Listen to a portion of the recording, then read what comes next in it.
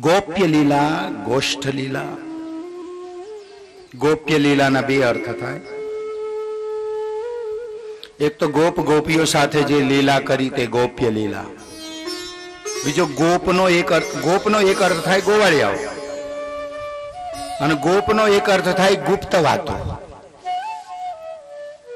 જે આજ સુધી કોઈ જાણતું નહીં હતું, ભગવાન કૃષ્ણની લીલા. એ લીલા કથાઓ સુખદેવજી મહારાજ પરીક્ષિતને ઉજાગર કરીને કહી દે છે. જાહેર કરી દે છે. એટલે ગોપ્ય લીલા. આ કૃષ્ણની ગુપ્ત લીલા છે વ્રજમાં. ગોષ્ઠ લીલા.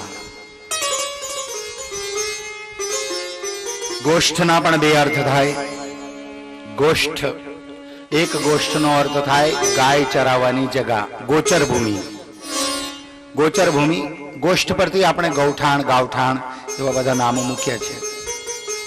ગોષ્ઠ.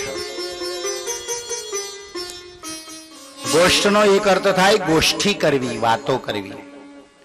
આમ તો ભગવાન કોઈ સાથે બોલે નહીં, હે? તમે રોજ જઈને પ્રાર્થના કરો, તમે એવ માતા ચ પિતા તમેવ તમેવ બંધુશ્ચ સખા તમેવ તમેવ વિદ્યા ચ દ્રવિણમ તમેવ તમેવ સર્વમ મમ દેવ દેવ. રોજ પ્રાર્થના કરતો છો કોઈક વાર? તમે રોજ ભગવાનને કહ્યું કે તમે માતા ને તમે તું જ મારી માં છે ને તું જ મારો બાપ છે. પણ કોઈ દિવસે ભગવાને તમને સામેથી એમ કીધું કે હા, તું મારો બેટો છે. એવું કોઈ દિવસ કીધું ભગવાને? તમે રોજ બોલો, તું મારી માં છે, તું મારો બાપ છે, તું મારો ભાઈ છે, તું મારો બંધુ છે, તું મારો ધન દોલત બધું છે. પણ ભગવાને કોઈ દિવસ કીધું કે હા વી આર ફ્રેન્ડ કોઈ દિવસ કીધું? યુ આર માય પેરેન્ટ્સ કોઈ દિવસ કીધું? એક તરફી પ્રેમ છે. આપણે પ્રેમ કરીએ છીએ. એ સામે જવાબ આપતા નથી. પણ જ્યારે આપણો પ્રેમ પરાકાષ્ઠા પર પહોંચી જાય, ચરમ સીમા પર પહોંચી જાય, ત્યારે ભગવાન બોલવા આવે છે. ત્યારે જવાબ આપે છે ભગવાન. ગોકુળના લોકોનો પ્રેમ, વૃંદાવનના લોકોનો પ્રેમ અને ભગવાન બાળક બનીને એમને ત્યાં અવતરે છે. અને એમની સાથે વાતો કરે છે, એમની સાથે રમે છે, એમની સાથે લીલા કરે છે. ભગવાન, આમ જલ્દી નહીં આવા અવતાર લે એટલે કોઈ સાદી વાત નથી ભગવાન. કેટલા વર્ષો વર્ષની તપસ્યાનું ફળ હોય ત્યારે ભગવાન તમારી સાથે વાતો કરવા આવે.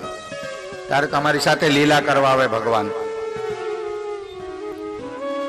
મારા ભાઈ બહેનો, તમારો છોકરો, આ બહેનોને ખાસ વાત કહું. તમારો નાનો છોકરો આંગણામાં રમતો હોય, મા ઉપર ઝરૂખામાં ઉપર અટારીમાં કામ કરતી હોય, કપડાં સુકાવતી જે કાંઈ કરતી હોય કામ, નીચે આંગણામાં એનો છોકરો રમે છે બમરડા કે ગોટી, નાનો છોકરો. રમતા રમતા છોકરાની નજર ઉપર ગઈ, ઝરૂખામાં મા ઊભી છે. છોકરો માને કે, માં, આવ તું બી આવ, રમવા આવ. મારી સાથે લખોટી રમવા આવ. માં આવશે કે? ચાલ ને, માં આપણે ભમરડા રમીએ. માં આવશે. નહીં આવે. હા, એને બી લોકલાજ છે. ગામની વહુ છે. છોકરો ગમે તેવી જીદ કરે, રડે ને, માથું પટકે તો બી માં નહીં આવે. તું રમ બેટા, તું રમ. ચાલ ને, માં, એક એક દાવ રમી લે. નહીં ને બેટા, તું રમ. તું, હું હું જોઉં છું ઉપરથી. ઉપરથી માં જોયા કરે, પણ રમવા નહીં આવે. પણ રમતા રમતા એ છોકરો જો પડી જાય ને એનું માથું ફૂટી જાય તો પછી માં ઉપર ઊભી રહે. એને દોડીને આવવું પડે. બે બે પગથિયા સાથે ઉતરીને આવવું પડે. એ ઊભી જ નહીં રહી શકે ત્યાં. એવી જ આ પરમાત્માની લીલા છે. આપણે બધા રમીએ છીએ ને માને પુકારીએ છીએ કે માં આવ, રમીએ છીએ ત્યાં સુધી માં નહીં આવે. પણ જ્યારે આપણને કોઈ કષ્ટ થશે, કોઈ પીડા થશે, કોઈ તકલીફ થશે, એ માં દોડીને આવશે, એ અવતાર ધારણ કરીને, એ જન્મ લઈને આવશે. એ પરમાત્માની અવતાર લીલા છે. એ પરમાત્માની પ્રાગટ્ય કથા છે. મારા ભાઈ બહેનો, અયોધ્યામાં જે લીલા કરી, ગોકુળમાં જે લીલા કરી, ભગવાનની આ લીલા. મારા ભાઈ બહેનો અને પરમ દિવસે એક ભાઈએ પ્રશ્ન પૂછેલો. આ લોકો સહસ્ત્રાર્જુન રાજાનો, તમે જાણો સહસ્ત્રાર્જુન રાજાને? જાણો છો? જાણો છો?